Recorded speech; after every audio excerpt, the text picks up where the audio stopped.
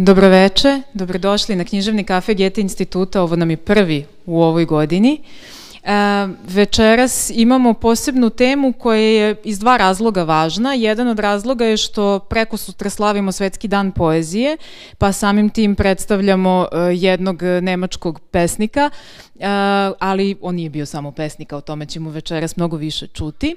A drugi razlog je što Drugi razlog je što je prevod koji je večeras pred vama, a to je knjiga Pre očeva umiru sinovi, podržala književna mreža Traduki, čiji je deo Gete institut i prosto eto ovom prilikom želimo da predstavimo uh, i rad Tradukija, ali prosto i ono sve šta u okviru Tradukija ovaj, uh, dolazi pred srpsku publiku. Sa nama su e, Bojana Denić, prevoditeljka i urednica radnog stola i sa nama je Maša Tomanović, književna kritičarka i još što šta. Ovaj, njih dve će razgovarati večeras o Tomasu Brašu, a ja vas puštam da uživate. Hvala. Hvala. Aha, dobro, ja sam očekivala da mikrofon ipak stiže, ali ovo je dovoljno. dobro. E, hvala Biljana na divnom uvodu, hvala vama što ste došli. Hvala moj, ovaj, mojoj i vašoj divnoj gošći večeras, Maša Tomanović, koja kao, kao što je Biljana rekla, e, književna kritičarka, urednica trenutno u e, FMK, FMK knjige, dobro, FMK izdavaštvu. E, I skrenula bih vam pažnju na njen e, književni e, podcast Autoput i noć, Ovaj, pa, eto, obratite pažnju. Zašto je Maša sa mnom ovaj večeras ovde? E, Maša je prva osoba koja je bila izložena mojim dvoumicama i troumicama u vezi sa stihovima Braša na jednom putu ka ovaj, Sremskoj Mitrovici i to je tad počelo i do danas se nije završio. Dakle, svaku priliku sam koristila da e, s Mašom prodiskutujem, proverim i osiguram neka, ovaj, osiguram neka rešenja koje bi onda bila ovaj, stabilna, oko koje bi se stvari dalje kretale. Dobro.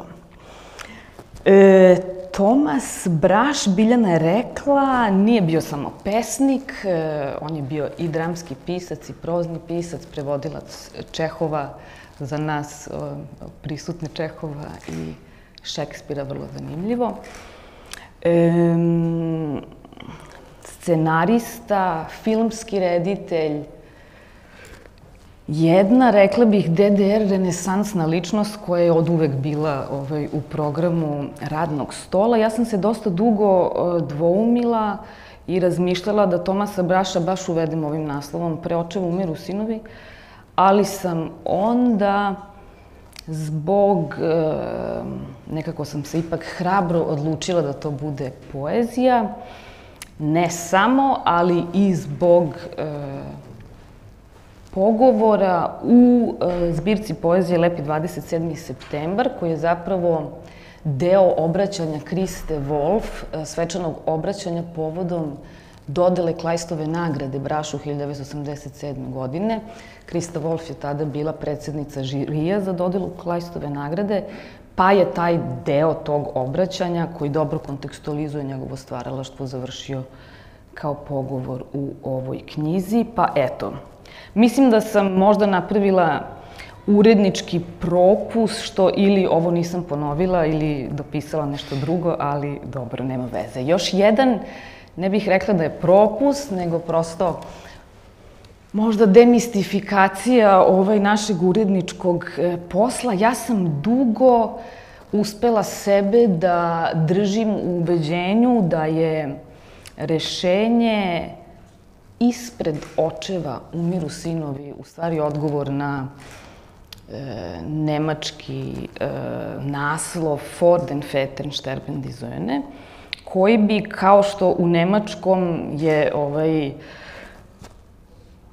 rekcija zgodna, pa je dvostruka i drži i vremenski i prostorno sa jednim e, oblikom. To u našem jeziku nije bilo moguće.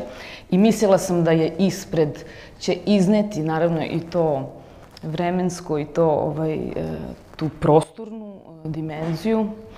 I naravno da su me nemački govornici ovaj, posle dugo ubeđivanja ipak ubedili da je ponajpre pre vremenski, pa tek onda fizički pred očima, tako da ako na nekim klaptama naiđete na ispred očevu Mirusinovi, taj naslov ovaj, više ne važi nego važi ovaj, aktuelni. Ja bih pre nego što sa Mašom e, povedem razgovor o temama, motivima, e, formi i stilu, htela samo da nekako prođem kroz stanice društveno-političke DDR-a koji su za recepciju, rekla bih ne nevažne. Tako da, dakle, Tomas Braš se sa roditeljima iz egzila vraća 47. godine u istočni Berlin, u sovjetsku okupacijonu zonu koja će 49. postati Nemačka demokratska republika. I naravno i književnost i čitav društveno-politički um, ton uh, tog vremena imaju taj antifašistički, jak antifašistički uh, predznak. To je vreme kad se u DDR vraća i Brecht, vraća Ana Zegers. Um, I uh, pitanje je, dakle, postavlja se pitanje, dobro, to je sad ta sadašnjost i šta ćemo u toj sadašnjosti. Uh, u teoriji književnosti se, ne znam da li ste vi to uhvatili, taj period 50-ih zove Aufbau e, literatur, književnost o izgradnji. Dakle, ne samo, naravno, e, namenskih e, gradova koji su tema, na primjer, važne teme kod Brigitte Reimann, Wolfganga Hilbiga, već, naravno, izgradnja socijalističkog čoveka i socijalističke ideje i e, važne, važne stanice tih 50. godina je e, 53. godine e, ustanak 17. juna koji su u Nemačkoj, u istočnoj Nemačkoj pokrenuli radnici zbog povećane, u tom trenutku povećane, udvostručene norme koje je trebalo da se iznese. I tom su se protestu, ovaj, su se milioni pridružili i taj ustanak je kao i onaj u Mađarskoj 56. koji je imao drugi predznak i drugu predpriču jer je krenuo sa, od studenta, sa univerziteta, je na jednak način ovaj, bio ugušen. Dakle, to su, ta 53. je u, u Nemačkoj već trenutak u kojem 51. i druge po oko 100.000 ljudi u proseku već iz istočne Nemačke e, odlazi baš te 53. pred ustanak, samo ta prva tri meseca godine, otprilike onoliko ko, kao prosek e, prethodnih godina, tako da ono što stiže 61. godine u formi zida je njihov pokušaj da taj egzodus, e, naravno, spreče, nekako podvedu pod kontrolu I dobro, 61. 65. je politički takođe važna. 65. je 11. plenum, na 11. plenumu Centralnog komiteta SED jedinstvene Nemačke, eh, jedinstvene socijalističke partije Nemačke su ovaj, u, nekako u e, etiketu cenzure i nepodobnih dela dobila mnogo dela književnosti, muzike i filma. 70-ih, 76. je Tomas Braš rešio da e, pređe u zapadnu Nemačku, a naravno tome je prethodio ovaj e, studentski protest na kojem je delio letke protiv ulaska snaga Varšavskog pakta e, u Prag, otprilike sa završnom rečenicom na letku, završnom porukom na letku koja je glasila niko nije, niko nije glup da ne misli svojom glavom. Zbog tih letaka i deljenja tih letaka je sa, ne sam, nego sa društvom završio pred sudom i osuđen na 27 meseci e, zatvorske kazne, nije održao celu kaznu i onda je po e, izlasku iz zatvora na uslovnu bio prinuđen e, da ide u fabriku, u proizvodnju. I to su ove priče. Iz preočiva e, umiru sinovi. E, o, vidjet ćete e, u razgovoru sa Mašom koji su razlozi e, zbog kojih ova knjiga nije mogla u tom e, obliku da bude objavljena u, u DDR-u. I e, sad se preslišavam da li sam... Sedam, da, 70-ih dolazi do promene šta sam još ovaj tu propustila. Ulbrichta je smenio e, Honecker i onda se već približavamo lagano 80-ima padu zida, pa onda i u našem slučaju raspadu Možda Jugoslavije. Možda si propustila oca. Oca. Oca sam propustila, to je važno. Ovaj, otac je bio e, politička, visoka, e, visoki funkcioner, politička elita DDR-a. E, otac Tomasa Braša, e, zamenik ministra kulture u DDR-u. Tako da, ovaj, to je super što si skrenula ovaj, pažnju na to, jer je Tomas Braš upravo, dakle, nije samo...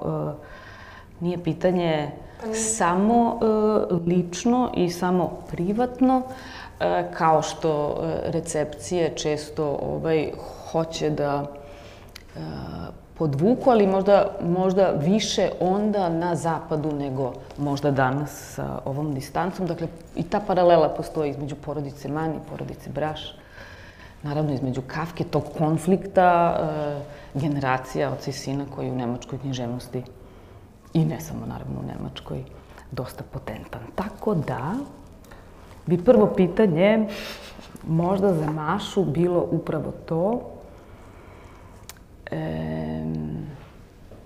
ko da su, probamo, da, probamo, tako da je, da, da probamo da kroz to, tako je, krenemo o, o e, temama i motivima da govorimo. Od naslova pre očeva umiru sinovi, ko su očevi, a ko su sinovi? A, Pa dobro. E, ja ću se prilično služiti u ovom dijalogu e, svojim neznanjem, zato što mislim da je ono bilo zanimljivo za moj proces recepcije. Mm -hmm. I mislim da možda može da kaže nešto o tome kako se ovo čita sada. Mm -hmm. To jest, kako ovo deluje nekome ko možda ne zna toliko, pa onda iz tih više čitanja sam shvatala neke stvari na više nivoa. Kako mm -hmm. e, zanimljivo je, znači, kao to je neka zbirka priča, e sad pokušat ću onda da ne ulazim u formalni deo još, nego da krenemo sa tom temom. Znači, ono što nekako e, se vidi, što nam nas najavljuje, a što onda vidimo kako čitamo priče, je da su to uglavnom ti neki protagonisti priča su muškarci koji lutaju po toj bukvalno lutaju po tom prostoru koji je krajnje neodređen, ne znamo imena gradova, ne znamo, vrlo malo shvatamo, znamo fabrike u kojima oni rade, iz kojih oni nejasno bivaju ili premešteni, napređeni, pa onda pokušavaju nekako da dobiju nekakve odmore, pa pokušavaju da se ne vrate u njih. I u suštini ono što se definitivno čuvava je taj osjećaj da je u prostoru se ne zna gde se osoba nalazi i da je sve to vrlo, e, znači jedno kao očigledno stanje raspada. Znači, to je nekako... I važna tema, e, raspad i truljanje je važna tema u ovoj jednoj mitološkoj... Da, u dve mitološke priče koje ćemo imati će takođe taj neki organski osjećaj E, nečega što ne valja, što, što fizički nije bukvalno prijatno, će biti važan. Znači, s jedne strane oni lutaju po tom prostoru koji nije baš dobro označen, a s druge strane, što je onda interesantno u odnosu s tim pred, pošto definitivno ne bi moglo pred, jer oni ne znaju gde su im očevi. Da, Već. ispred, mislila sam, da, ispred, koja je razlika sad, dobro. da, e, znači, to je kao oni, oni lutaju po tom prostoru, E, svi ti junaci uglavnom e, su ili u nekoj vrsti sukoba sa svojim autoritetima ili nekim starijim muškarcima s kojima ulaze u takođe nejasne kratkotrajne odnose po tom prostoru. Jako je kada se čita zbirka priča, mislim tu sad bi bilo interesantno vidjeti različite utiske kod ljudi, ali meni jedan od stvarno onako predominantnih utisaka je taj koji bi možda bio i formalan, uh -huh. a to je da e, je vrlo interesantno koliko se čudno pretapaju glasovi. Dakle, da vi sve vreme imate iz sećanja u dijalog, mm -hmm. iz dijaloga u, u opis neki, koji opet nije estetski, o tome ću pokušati još posle da pričam. Znači, cijela nekako zbirka prolazi u tim dešavanjima koja su efemerna, koja su trenutna, gde neko nekome nešto prepričava, pa je došao tamo, pa je pokušao da se nađe s njim, ali nije uspeo da se nađe s njim, pa pokušao da shvati šta se ovome drugome desilo. I interesantno je to da u nekoj, znači u potrebi da izrazi tako jedan svet mhm. koji atmosferom tako izgleda, meni je bilo interesantno to koliko se osjeća da je on e, jako kulturno svesna i obrazovana osoba, Tomas Braš, i onda taj sukob između toga da on pokušava da ucelovi tu zbirku time što će da rasporedi gde ide koja priča, kako nama uvodi kog junaka, koje kulturne reference mi imamo i slično. Dakle, postoji neka potreba za formom, postoji potreba da se tome da neki, neka možda seta, ne znam kako bih rekla, da se, da se kao, da, melanholično, da nekakav okvir mm -hmm. koji se ne može ispratiti. Mm -hmm i e, nekako sukob ta dva u stvari stvara interesantnu stvar dok se čita. Jer s jedne strane vi možete, bez obzira na to što se krećete u tom haotičnom prostoru sa tim ponavljajućim imenima, sa tim fabrikama i svime time, vi možete da e, vrlo osetite sada e, kao aha, sad sam u drugom delu knjige, aha, kao, a sada odjednom imamo ovu neku stvar iz mitologije, aha, ali dobro je što je ona ovde. Na tom mestu, da. Da. Pa evo da, ovaj, samo da e, se nadovežem na to, u tom formalnom e, smislu, e, zbirka je podeljena na A, nije nevažno e, e, i na podele u z, e, zbirci poezije. Dakle, postoji nešto što sam ja u oba ova slučaja i u e, pričama, u tri celine, u neka tri dela.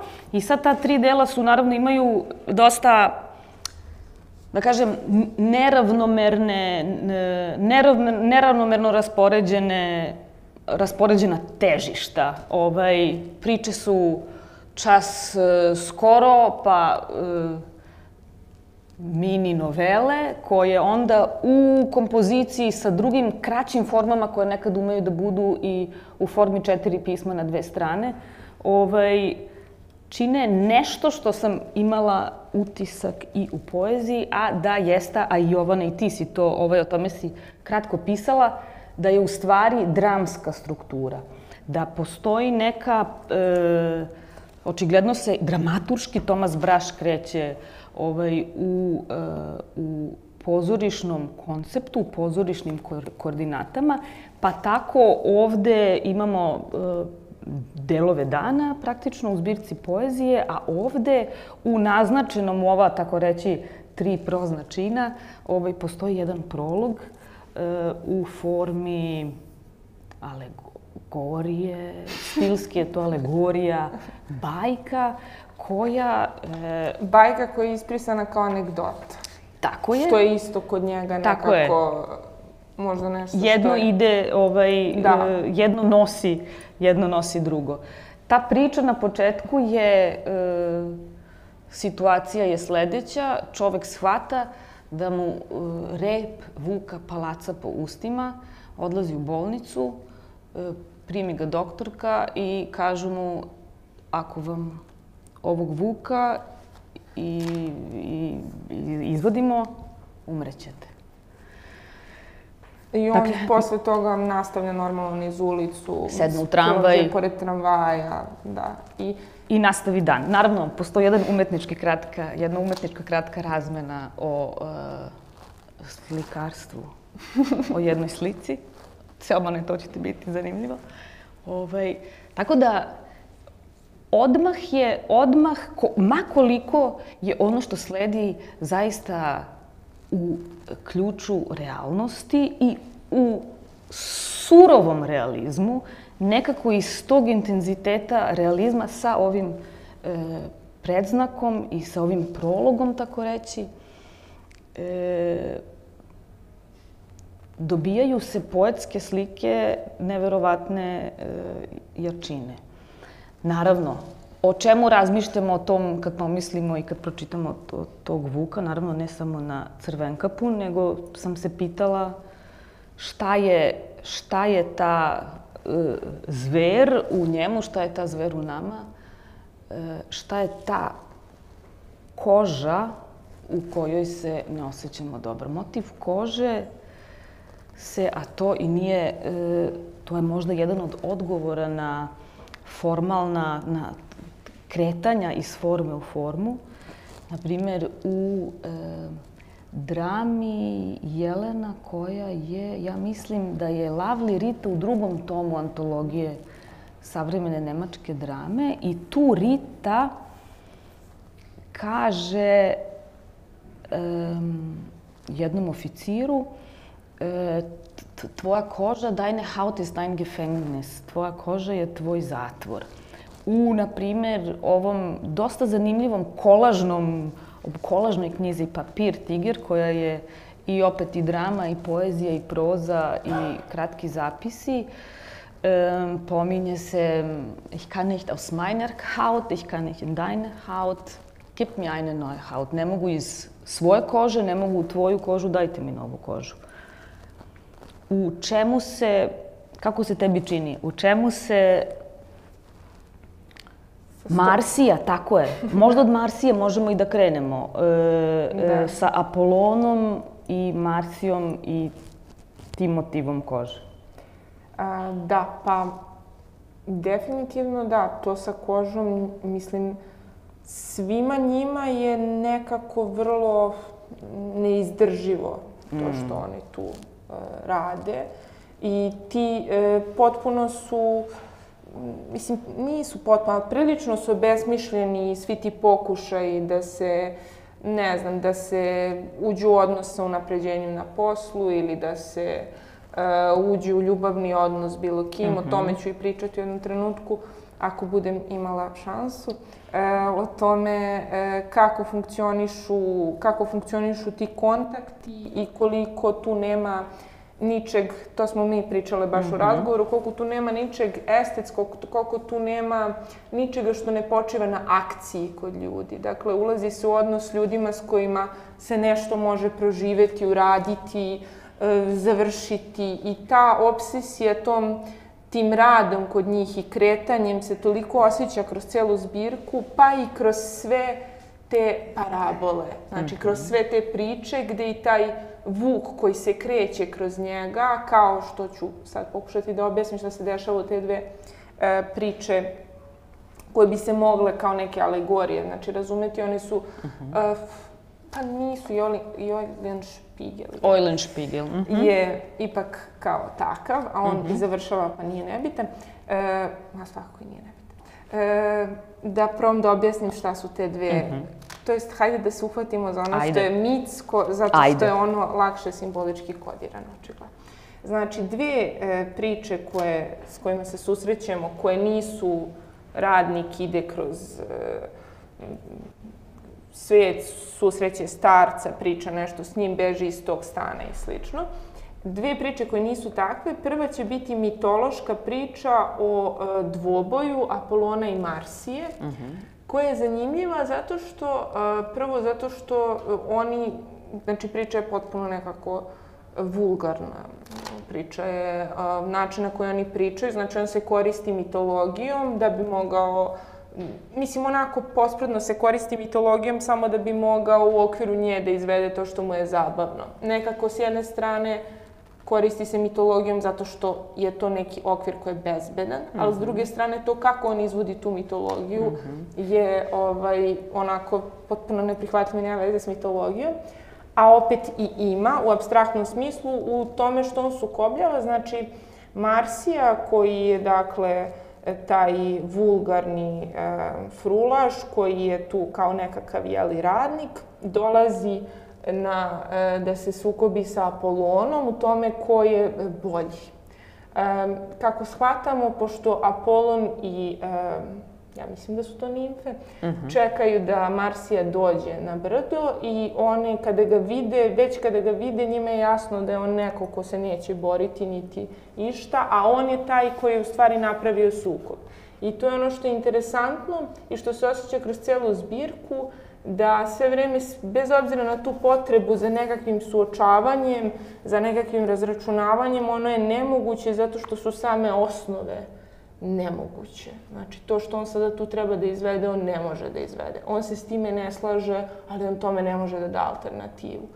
I to je mhm. nekako nešto što se baš vidi kod Braša, meni se videlo i u pesmama, videlo se i ovde, da to, on ne može da ode, ne može da napusti taj svet koji zna zaista, nema ni srca da to uradi, ali s druge strane ne može tu stvarno da se ugradi u taj takav sistem koji je potpuno nerealan u, u svojoj aktivnosti. Da. Pokušat ću samo da, da mhm. završim tu priču, mhm. jer ono što je interesantno je da Marsija, Marsija kaže kada dođe kao ne, ne, kao ne mogu, mislim ne može, na primjer, moj instrument da se svira s obe strane, on uglavnom i ćuti, samo gleda nekim mrtvim pogledom, onda Polon uh, nastavlja da izvodi, pa onda on svira dugo, peva, nimfe ponavljaju, ali vidiš da on to radi bolje od tebe i slično. E, čak u jednom trenutku kaže, ali ti ne možeš da pevaš, a on kaže, što je kao fora, pa ovo je frula, da. mislim, kao ne mogu da pevam, očigledno. A malo mi je sve jedno. Da.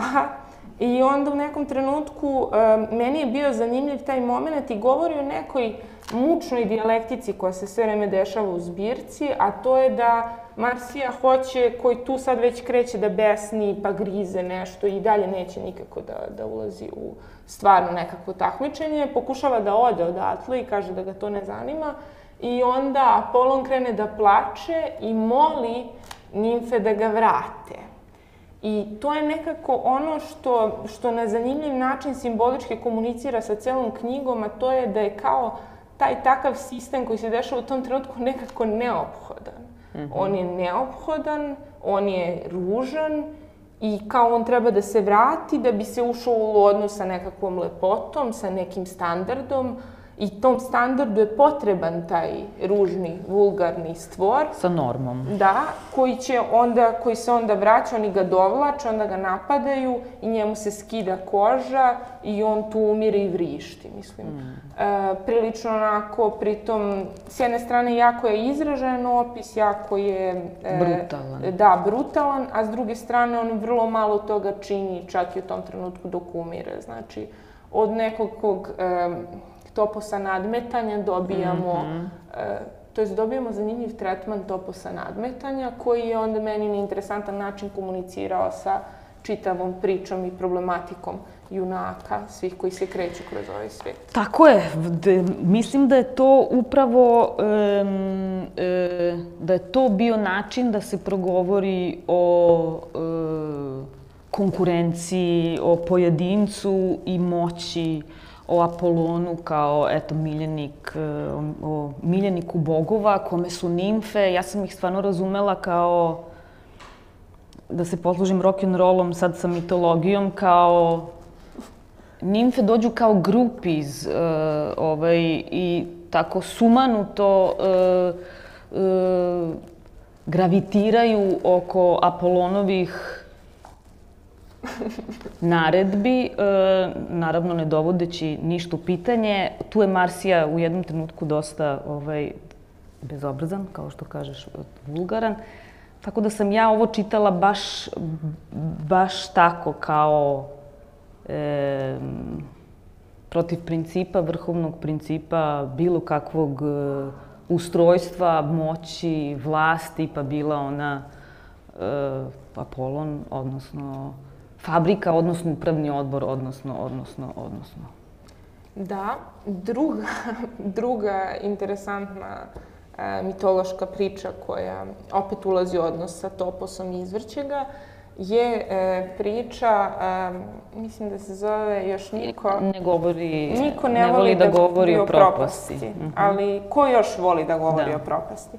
Znači, gde imamo a, taj topos... A, najave prokletstva grada, mm Dakle, moreplovac je došao tu koji je opet kao i Marsija taj neki iskusni, radnički čovek koji... Delatnik, da. Koji je delatan i koji ne može više uopšte da uđe u nekakav fini odnos s time koji dolazi u principu i pokušava da im kaže da im grad, mi takođe, mnogo ima takvih mesta u knjizi, možda to nije loše da se kaže, mm -hmm. mnogo ima tih neodređenih mesta, šta je to što je problem, šta je to što je smrt, šta se njima dešava, da li su oni bolesni, da li je to e, da li grad tone. Znači, mm -hmm. ne možete tačno da shvatite to osjećanje, e, mislim, to osjećanje meni prožima 80% tvojih izdanja.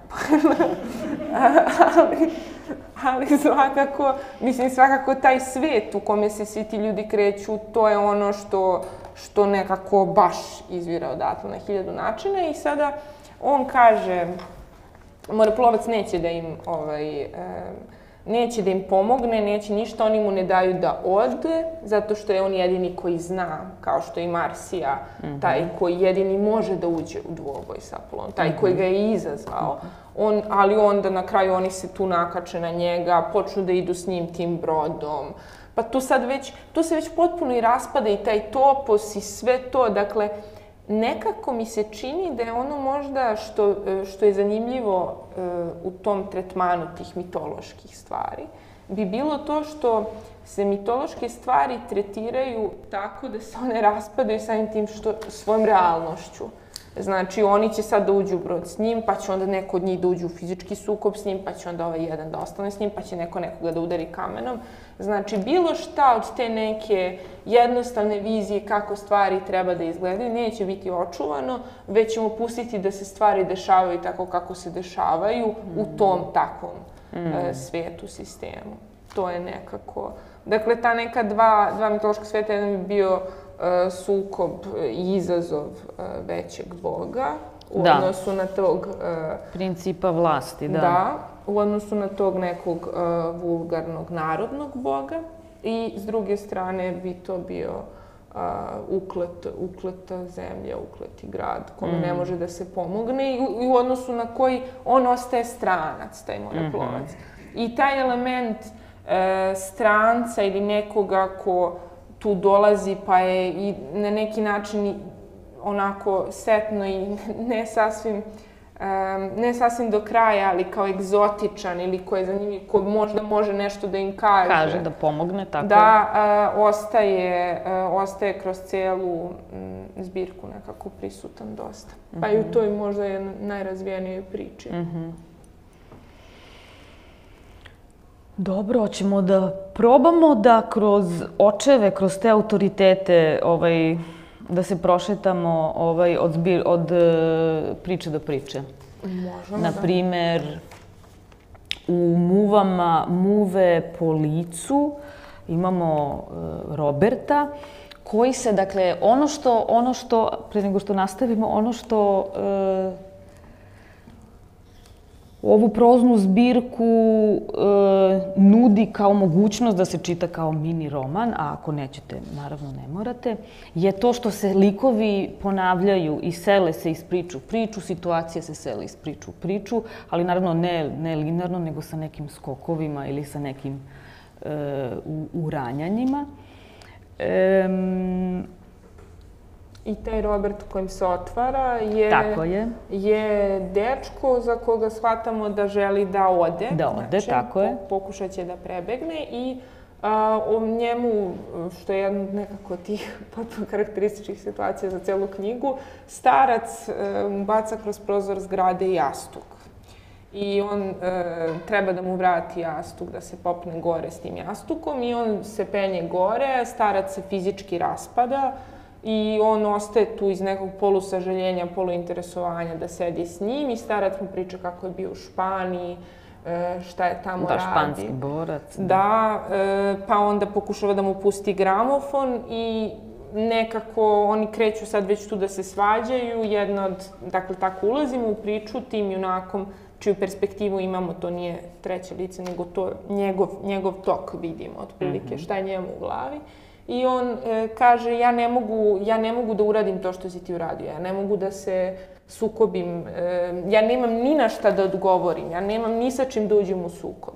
Za razliku od tebe, ti si Tako imao... je, ti si za- imao istoriju, ti si imao, vi ste, ta generacija imala svoju istoriju, ta generacija je uradila što je uradila, a Robert e, i Robert za svoju generaciju kaže em, ja nemam ništa. Nije istina da sam hteo da, ovaj, da bih nužno prešao preko, jer je priča, eto, vidim samo jednu, e, vidim blokove, ono što mi zovemo blokove, ovaj, vidim blokove kao veliki zatvor i to je to.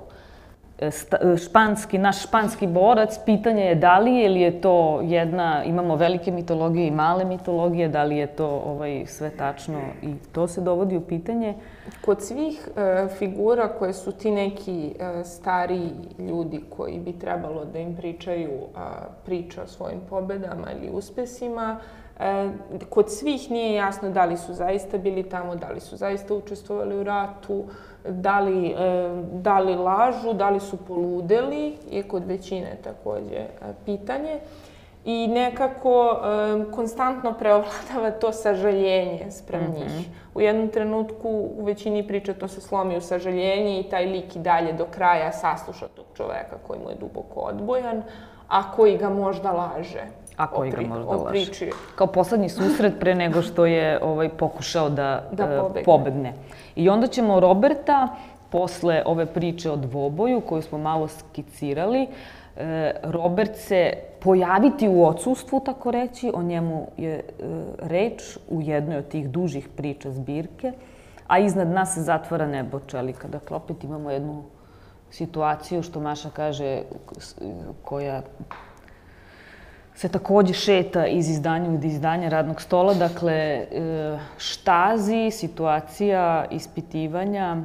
mm, Da, dakle, e, imamo Robertovog drugara koji je s Robertom proveo neko vreme i sada vidimo iz njegove perspektive, znači on nam, on nam priča priču, njegove doživlje i njega ispituju vezano za Roberta. Gde je Robert? Da, on je prilično uplašen zato što razmišlja i o tim nekim svojim stvarima koje oni tu mogu da nađu. Njegov status je takođe duboko upitan, šta on tu radi, šta je s tim poslom u fabrici.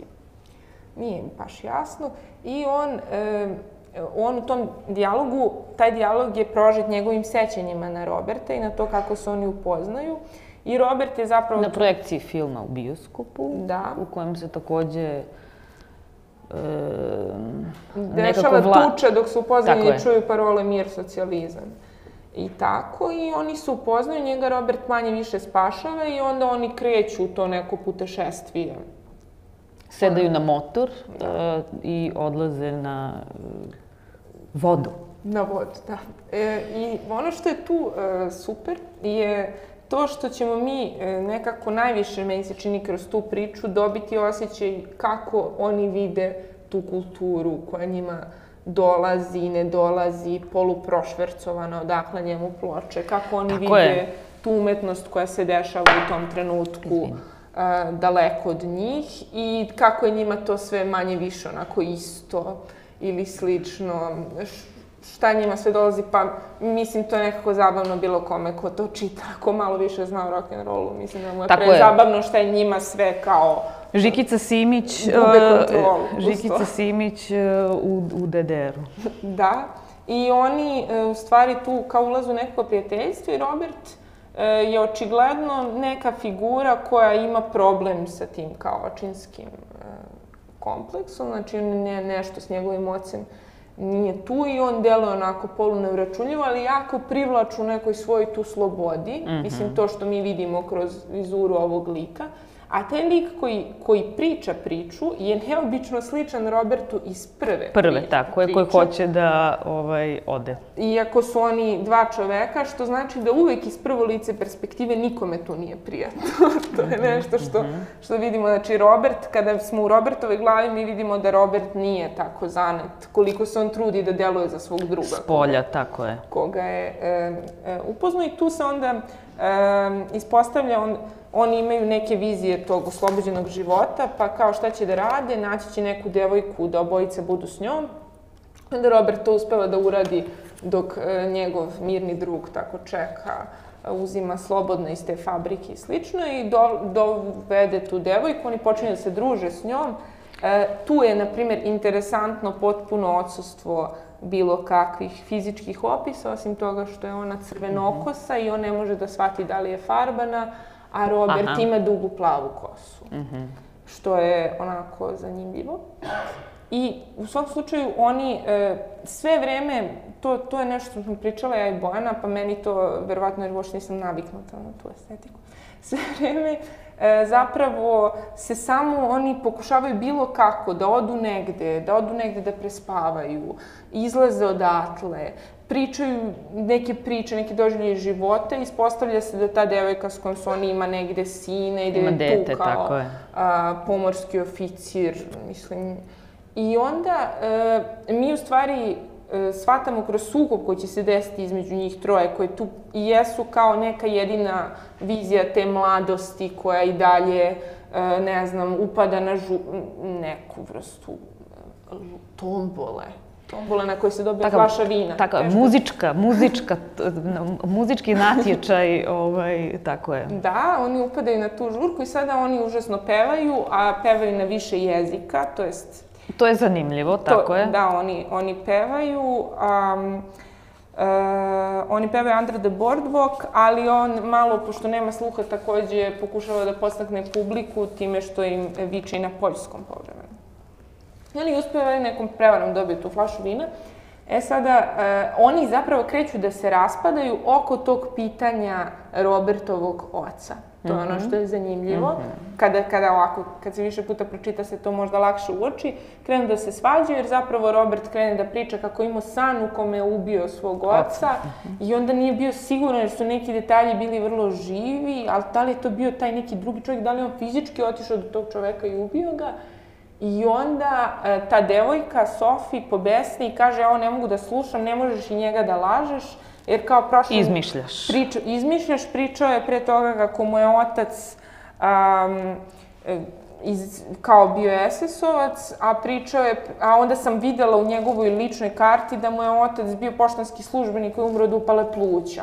Znači, to se ništa ne razjašnjava. Uh, jedini, dakle, jedini oblici prisustva SS-ovca su bili taj otac iz priče, za koga nismo mm -hmm. sigurni da li je stvaran. Mm -hmm. I e, opet iz još jedne priče e, stariji čovek mm -hmm. koga, u kome nam priča jedan starac koji priča samo kroz to da je ipak prijavio tog lika E, koji mu se poverio da je eto bio ratni zločinac jer je bio stražar u logoru. Stražar u logoru, da. I e, gledao je kako, to jest gledao i polunaterao, a, poljsku jevrijsku decu da se natiču sa konopcem preko rupe. Dakle, to su jedine dve e, figure koje imaju veze sa...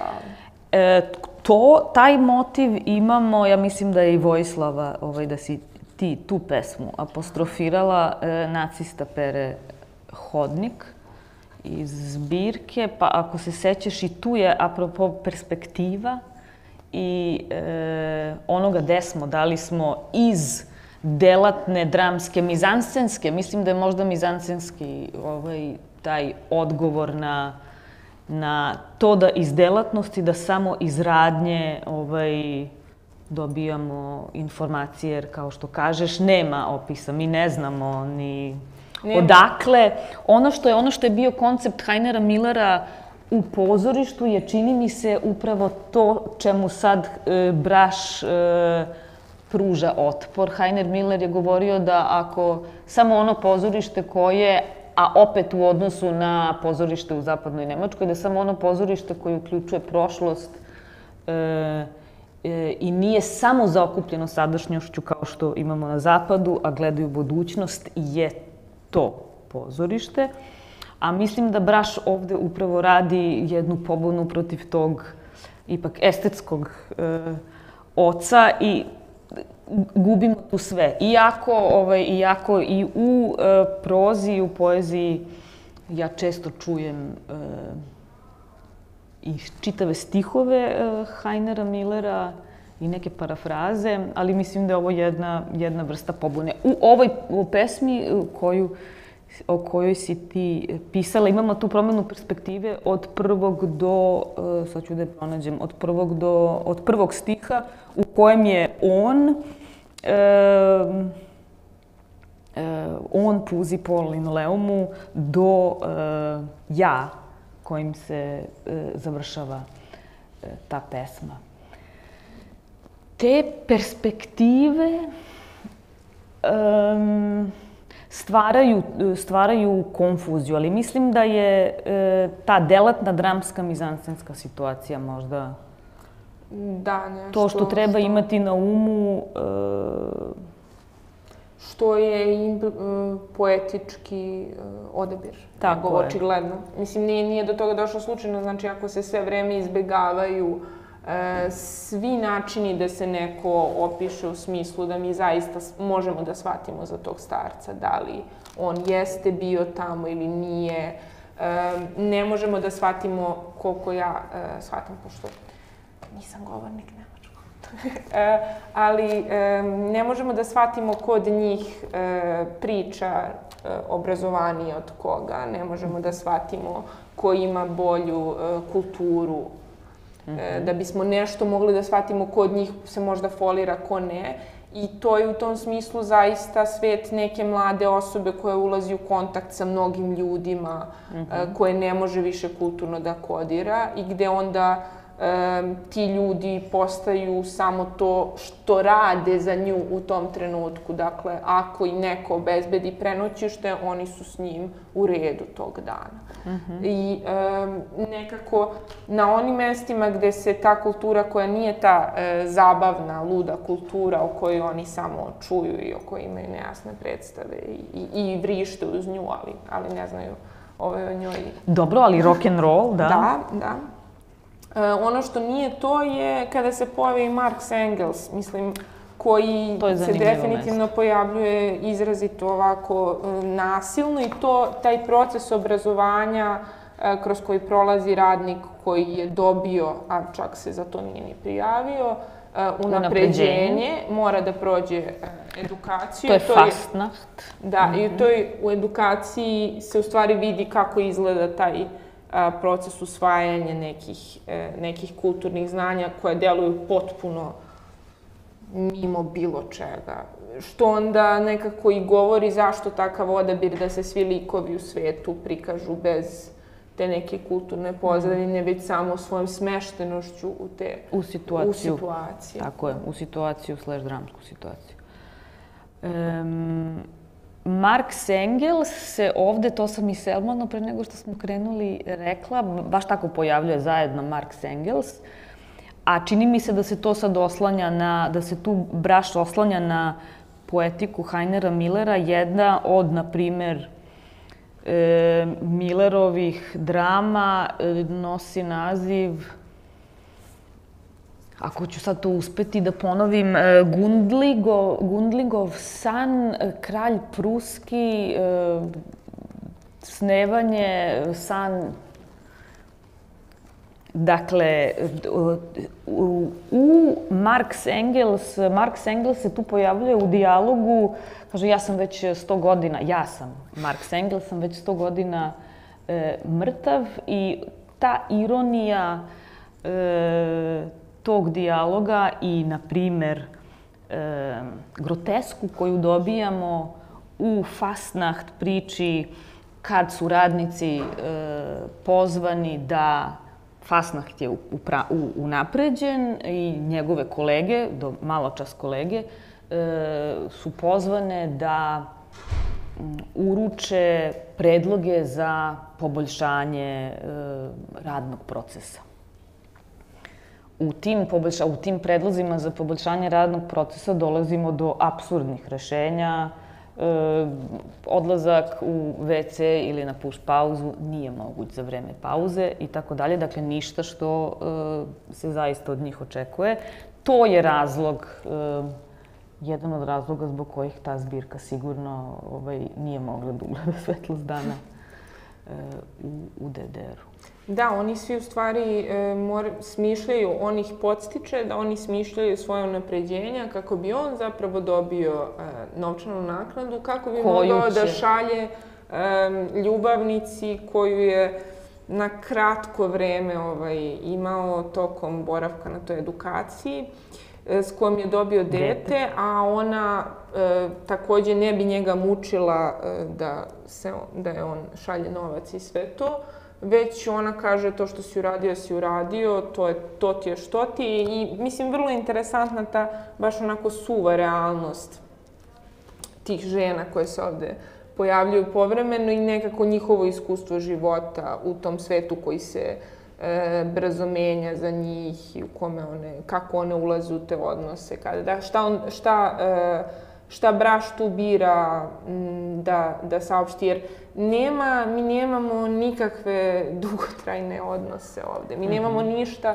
e, što traje na bilo mm -hmm. koji način, osim... Tog osim starih profesora u Eulenspiegelu koji vrte knjige da. beskrajno. Da, i da. koji, i nekako taj osjećaj da se sve kreće i da sve mora da bude bolje i da moramo da izdržimo taj rad na koji smo naterani, a da s druge strane e, ništa nije dugotrajno od toga.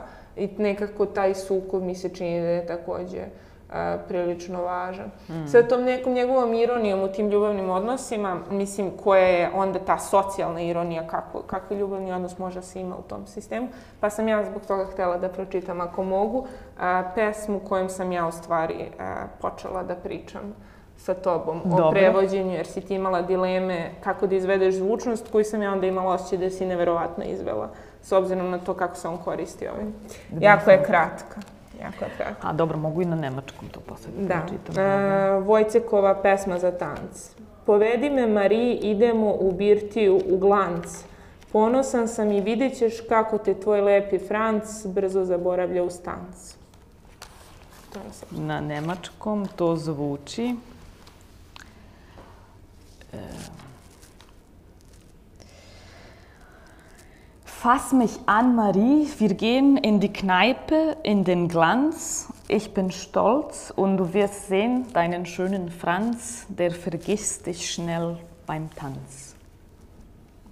Možda. da. Možda.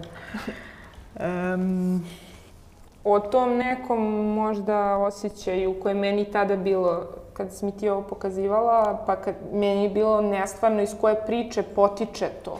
Mislim, ko, kako se dolazi do, do te fore mm -hmm. sa glancom, tancom i francom, ali ovaj, onda kad sam krenula da ga čitam sam dobila već ošće zašto, zašto se to sve dešava i kako, kako funkcionišu ti odnosi tu.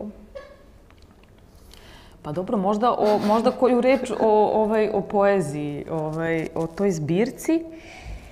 E, taj datum je u nemačkoj književnosti postao važan, naravno ne samo, to uvek volim da kažem, zbog Biljaninog rođendana, koji je istog ovog datuma, 27. septembra. E, 27. septembra su, mnogi među vama su ovu priču čuli, ali moram ponovo da ispričam, našla sam i nastavak. 27. septembra su, je Kristu Wolfs, jedan sovjetski list, pozvao da e, zapiše taj dan, koji nije veliki dan, nije jubilej, nije nikakvo slavlje, nikakav osvrt, nego običan dan. I Krista Wolf je nastavila, zabeležila je taj dan, kao i mnogi drugi pisci, i nastavila da piše dnevnik do kraja života samo 27. septembra. Tako da imate 27. septembar 60. godina, 70. 80. i to lepo može da se čita i kao zaista kulturna istorija e, ne samo ne samo Nemačke, nego Evrope. E, I u tom, e, tog 27. septembra, ja sam čak i razmišljala, pokušala sam sa Zurkampom da pregovaram, da mi dozvole neki, da napravim neki izbor i onda sam naravno ponovo shvatila da to, to što hoću nije dobro i da ne može i da to jedino tako integralno e, može da ima e, smisla. E, Tog 27. septembra je protokol svakodnevice od doručka, ćerije e, rođendan, torta, e, šta se sluša na radiju, čita na kojim se tekstovima radi, šta se priprema za doručak, e, odlazak u nabavku, do društveno-političkih aktivnosti uveče. Tako da se tu zaista svašta desi. A onda Tomas Braš tako reći, dođe i kaže iz jedne potpuno ex negativo pozicije šta sve tog dana on nije uradio, tog lepog 27. septembra. Pošto je Krista Wolf sve to drugo uradila, on kaže ja nisam čitao novine, nisam pogledom ispratio ženu, nisam otvorio poštansko sanduče, nisam nikome poželeo dobar dan, nisam pogledao ogledalo, nisam ni sa kim razgovarao o prošlim vremenima i ni sa kim o novim vremenima, nisam o sebi razmišljao, nisam ni redak napisao, nisam ni jedan kamen zakotrljao. E, a kad ovu pesmu, e, a da se ponovo vratimo na e, možda dramske činove, on ovu pesmu smešta u mm, jutro, u tako je to na delove dana kako je podelio zbirku na jutro sa podnaslovom između stanja otpora i blagostanja. I svi e, e,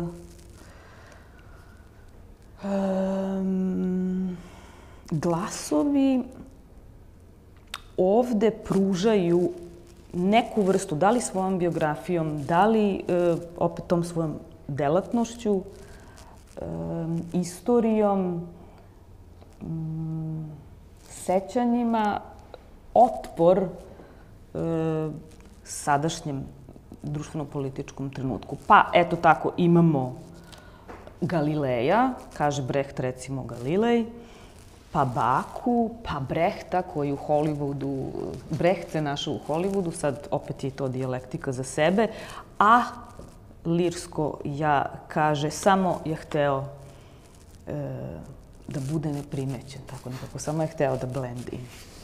E pa kad lepi 27. septembar e, Tomas Braš stavi kao poslednju pesmu u tom ciklusu, e, to mi nekako daje jedan drugi signal. E, da, možda je u odnosu, kad se, mislim, vidi se, e, interesantno je to, e, taj pogovor Kriste Wolf, koliko je on nekako konstruktivan sprem Braša. Mm -hmm. Meni je to bilo zanimljivo, jer eto, ona bira da njemu da nagradu mm -hmm. i osjeća njega kao tog e, pisca koji je u rascepu, koji pokušava da obuhvati različite stvari koje se tu dešavaju, koji je pritom prilično vešt i, i, u smislu te dinamike, i u smislu tih atmosfera, tih dijaloga, oni su svi jako realni, znači to je prosto, vidi se neko ko to zna da radi, ko kao dobro uh, ide kroz sve to, a s druge strane onda kada pogledamo sam Brašov stav, ako bi morao da postane stav, a ne da samo bude izraz svega toga što je on mhm. tu preživeo, video ili mm -hmm. osetio, taj stav je prilično je. izbezumljen. Da. Mm -hmm. Pa i onda meni bilo super što si stavila uh, ovo, ovu pesmu na, na koricu, e, baš na koricu te proze drame. Zato što... Koja sam, smatrala sam da je nekako u finom, uh, uh, da je to odgovor na isto osjećanje u ovoj formi. Jer on, na pitanje, pročitaću vam ovaj tu pesmu, na pitanje forme e, Braš je iz te društvene, on je imao taj strah od društvene stagnacije. Zato ti, e, zato si večeras mnogo puta rekla i u pokretu i radno i delatno i, i, i. Dakle, ta stagnacija, nameštanje na, u komfor i u sleganje i u tu situaciju u kojoj Marsija, Marsija kaže meni je sve jedno, je ta vrsta pogona bila Tomasu. E, Brašu da onda tu stagnaciju čini mi se prenese u formu, pa samim tim ovo i ne, ovu knjigu proze i formalno i žanrovski ne odredi kao kratka proza, kao roman, kao e, da je ta vrsta e, pokretljivosti iz forme u formu, iz žanra u žanr, njemu u stvari bila ta mašina. E, da kad smo kod mašine, e, tu je onda, dakle, taj odnos u, u pričama o radu e, iz proizvodnje, iz fabrike, iz te e, radne svakodnevice jeste u stvari priča o čoveku i mašini, a onda korak pre toga u ovom autoritetu Hamlet, Hamlet mašina Heinera Millera kao um, odgovor Heinera Millera na, dakle, proistekla iz prevoda, dobio je zadatak da prevede, uh, nov, da uradi novi prevod Hamleta i redukovao je uh, Hamleta na četiri strane na, u stvari, parabolu o kraju hladnog rata. Ovaj, tako da je ta stagnacija, a onda Biljana, ne znam da li, uh, da li ćemo na ovaj, da li da se osvrnemo na, na GTA, na, o, na, na Oferweile du bist so schön, dakle već kad jesmo ovaj, ovde. Um, dobro, možda nema, nema veze. Ali... O, Oferweile du bist so schön, potraj, um, neka taj trenutak potraje iz Fausta je trenutak u kojem Faust sklapa pakt sa Mefistom, uh, interpretiram, naravno, i kaže, da, kaže mu da da, neka to bude bilo koji drugi trenutak, samo trenutak koji nije da ostane u glavi, da juri za saznanjem, da ga to zanima, nek taj drugi trenutak potraje. E, kod Tomasa Braša je sve samo ne da potraje, dakle da Ofervajle ne može, ne može da potraje. Nema, ne, nije Ofervajle uh, o potraj uopšte nije opcija, nego je opcija e, ganjanja neurozom, progonjen u stvari neurozom da se seli e, iz forme u formu. Da, hoćeš I da, da to onda bude, hoću, da to onda bude odgovor na zašto ovaj, je toliko različito. Ono što imam, a pročitaću i na nemačkom, ono što imam ne želim da izgubim, a tamo gde sam ne želim da ostanem, a one koje volim ne želim da napustim, a one koje poznajem ne želim više da vidim, a tu gde živim ne želim da umrem, a tamo gde umreću ne želim da sam, da ostanem, želim tamo gde nikad bio nisam. E, na nemačkom e, treba mi pogovor, treba mi pogovor, ne znam da li sad ovde imam taj pogovor. Nemam. Pa dobro. A, nemam. Ne, nema veze. Dobro, drugom prilikom. Um, Poprilično smo ga uokvirili sad. Pa ne znam, sad gledam ovaj osam sata, sad vremena je prošlo. Sad vremena je prošlo, možda imate neka pitanja. ne znam. Pa da, možda zaista imate pitanje nekom.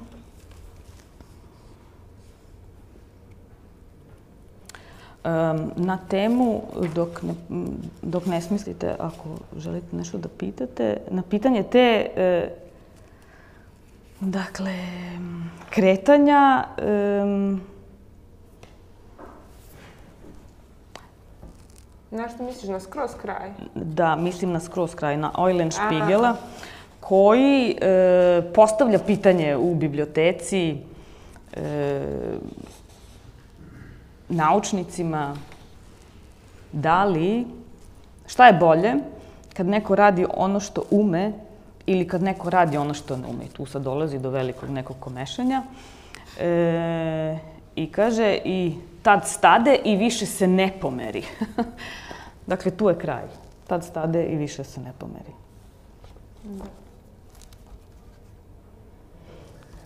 Za kraj. da.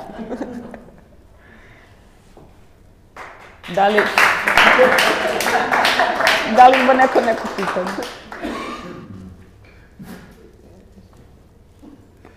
Postoji li pitanje? Mene iskreno zanima, pošto je dosta toga bilo nagorušenima, šta je on zapravo mislio o tebe? Mm. Divno pitanje. Divno Kako pitanje. pitanje? da. On e, e, Tomas Braš je govorio u intervjuima koje tih, ti, u tom periodu su intervjui i njemu i Heineru Milleru bili dobar poligon e, za stavove i čak je govorio da taj rad u javnosti i u medijima i doživljava kao pozorište, ali ne samo da je on autor i pisac, nego i glumac tog, recimo, intervjua. E, to nije odgovor na pitanje. Odgovor na pitanje je e, da nije nikad njegov problem bio e, pitanje socijalizma i e, koja je i da li postoji alternativa socijalizmu, već kako, e, kako s tim socijalizmom, ali ne na način e, na koji je postojao i zbog kojeg je u stvari i otišao. Ali nije da se na zapadu on snašao, čak je i rekao da naravno, kao i mnogi drugi, nije želeo da bude instrumentalizovan kao niti kao disident, niti kao pisac sa istoka koji živi na zapadu i u bilo kakvim tim uh, etiketama.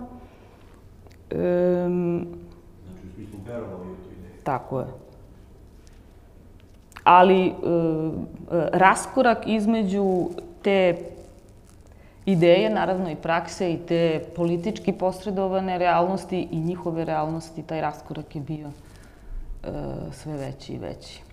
Tako da je to je ono što su, što su uh, mnogi upravo 70-ih, ono što možemo 70-ih u toj književnosti da čitamo, da su ta, uh, uh, ta iskustva realnosti u kombinatima, u, a to nas sad vraća na taj na tu 59. i 64. taj Bitterfeldski put, Bitterfelder Weg, uh, u tim društveno-političkim proklamacijama u kojima se zahtevalo da, insistiralo se da se e, raskorak između života radnika i života intelektualaca ili umetnika nekako e, premosti, pa je tako Heiner Miller sa suprugom i bio u u Crnoj pumpi, u kombinatu, pa i e, Brigitte Reimann, pa evo ga i Braš po izlasku iz zatvora.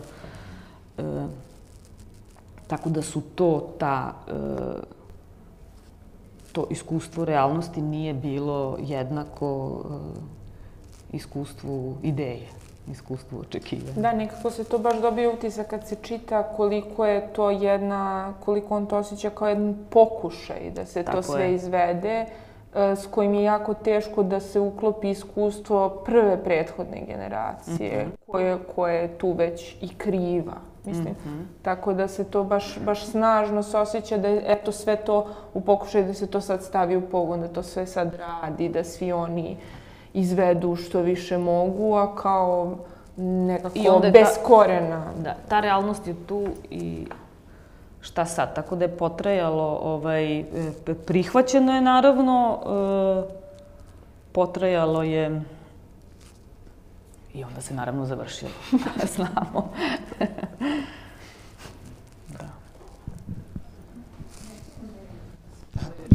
Ove, pa, e, ako možete, ne još nešto kažete o tom e, njihovom odnosu sa e, tim popkulturnim aspektom, zato što koliko sam shvatio, pro, prožima neka jalovost u komunikaciji koje sve te njihove odnose koji su, su pominjani koliko kao kada on ima kao disident i kao radnik bi, bi to jest kao intelektualac biva prognan e, i nema nekog gubljenja kao na primjer gde Hamaš odlazi od njona njegovo metafizičko gubljenje ili kod, recimo, kod Hrabla kada uslužuje sam engleskog kralja, kada njega proteruju, on ima te, to bogatstvo utiska i nema nema tog osjećaja kao ne, nečega izgubljenog ovde, ima ne, neče, konstantno neče, nešto izgubljeno, a ta pop kulturni aspekt je možda njima prilika za, za gubljenje, a nešto ste e, nazračivali, da, da, da i sa time jako čudan odnos, pa ako može još nešto o tome da se kaže. Pa evo, u generaciji prethodnoj e, je, na primer, Heiner Miller e, onog trenutka kad je zid e, pao, nije više napisao ni jednu dramu. I ono što je Heineru Milleru i Tomasu Brašu isto, čak su negde to i vrlo, ta, Tomas Braš je to vrlo slično ka Heineru Milleru formulisao, ta e, e, konflikt, ono što je Tomas Braš zvao Reibungsfläche, e, površine trenja. Dakle, e, da je ono što je Heiner Miller govorio da je da su da njega interesuju da njega interesuje izoštravanje percepcije perspektive za konflikte i probleme, a da ga ti neki jednoznačni odgovori ne interesuju. Mislim da je Tomas Braš tu liniju prihvatio, da se negde drugde e, od, e, od, to, od e, koncepata Heinera Millera sklanjao kao autoriteta, ali da je, eto, na primjer, to prihvatao. Da, meni je za to, kao nekome u 2024. godini, bilo zabavan ovaj deo, na njega sam mislila. Znači, oni su tu nešto bili, um, već su pevali to, everybody sings je pojut i niko ne reaguje dok oni viču. Mm -hmm. I onda oni beže odatle i onda ide deo. Uh, u pravu je rekao, moramo na koncert, every day I have the blues. Tako je prodrase Roberts. Kakutali smo ispred nje, pevali joj Big Billa Brunzija, krali se u Charlie'a Parkera, vodili je prašnjim putevima Bebapa, šaputali joj Dylanove tekstove, vraćali se na Baha i prečicom probali da stignemo do prvog albuma Stonesa, pa preko Time is on my side i Play with fire do Sympathy for the devil, hulili na Procol Harum i Pink Floyd i krunisali Johna Mayala, Hey Joe, Simona i Garfunkla, Erika Bardona, Sofija je sedela u pletenoj ležaljci, savijala se od smeha i kršila ruke. Mislim, to je nekako kao... Mm. Kako to izgleda povremeno. To, to su jedini neki delovi gde se vidi bilo kakav kao odnos sa kulturom, a i on je humoran i nije stvarno... Mm -hmm. Ne, ne može se zaista zauzeti neki trajan stav ni tu. A mislim, oni su svi kao dosta mladi u tom trenutku. Da, da u bioskopu da. je taj film, uh, da li je Štefa, Špurterštajne, uh, Tragovi kamenja, Nojić, ne znam kako se Nojić, uh, Nojić, ime Nojića mi ovaj, izmiče. E, takođe, ekranizacija e, romana, istoimenog romana, u kojoj je opet ta konflikt e, radnika i mase e, sprem tog autoriteta, upravnog odbora. Ne, oni kažu, mi ćemo nešto, no šta ćete vi? da, ima tih kulturno, kulturno ovaj, ima tih referenciji. E, malo više u poeziji nego... Da. Nego u prozi, ali mislim da eto sad uz tu dramu, Lavli Rita iz tog drugog toma, uh, pa poezije i ovde proza, eto sad fragmenti uh, poetskog, proznog i dramskog stvaralaštva, pa bit će još. Sad čekamo i neki film. Pa to bi bilo lepo, ne znam, sa Ivanom Velisavljevićem bi možda u Domu kulture Studenski grad možda ovaj, mogli da napravimo to, ta, neku, neki možda ne sva četiri filma. Četiri filma su u pitanju, opet vrlo e, nekako atmosfera je e, atmosfera ove proze.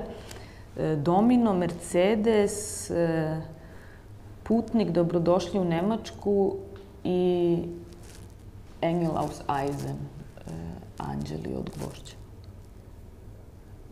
Vidjet ćemo. Da. Hvala. Uh -huh. Evo, ja bih još jedno pitanje. Dobro veče. Bravo. A, mene više zanima ova poetska strana.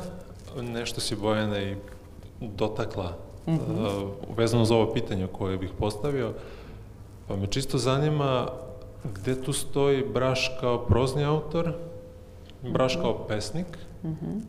gde su njemu te dve strane, da li se sustiču, da li se uh, možda poništavaju ili je možda opet neko treće rešenje Braš kao dramski autor koji se koristi poetskim i proznim. Dakle, -hmm. koliko ima poetskog braša u prozi, koliko je proznog braša u poeziji ili možda ovo treće pa, rešenje? Pa, to je super. To je super pitanje. Ovaj, hvala. E, mislim da je, e, da je ta dramska, drama, dramsko, dramaturško razmišljanje e, nekako dominantno, pa bih onda rekla da proza liči na podsjeća na dramu, da u drami ima poezije, a da se poezija može čitati kao e, monolog, na trenutke kao monolog. Tako da mi se čini da u stvari tako, e, da se tako kreće, da se tako misao kreće, pa sad u tim, u tim formama. Prelepo, ja svakako hvala. ima baš sklonost ka fragmentu. Da, fragment pa je... je, to da, tu poezija možda povremeno lakša zbog te dužine, a i ta, tako, takav mu je nekako priroda razmišljanja, tako se dobije. E, poet, sad, poetološki i filozofski je ono što je Brecht e, uradio sa fragmentom, što je Heiner Miller, Heiner Miller je smatrao da je Brechtov facer koji je ostao kao fragment apsolutno najsavršenije uh, uh, Brechtovo delo. Ja, kad o tome razmišljam, uh, se, složim se sa uh, Heinerom Millerom i razumem zašto je to uh, rekao. Uopšte ne mislim zbog uh, materijala koji se nalazi tu kod Brehta, nego upravo zbog ove dramaturške misli i strukture Facera, koja je Heineru Milleru bila uh, inspiracija za fragment, a onda i Tomasu Brašu. Dakle, na toj liniji e, Brecht, Heiner, Miller, e, Tomas Braš se fragment prenosi. Um, da. Ako sad krenemo da pričamo o fragmentu, to će potrajati. Dobro, da, da. Fragment je važan. E, važan. Fragment je najvažniji. Hvala ti, Bojana. Hvala tebi, Maša. Hvala vama.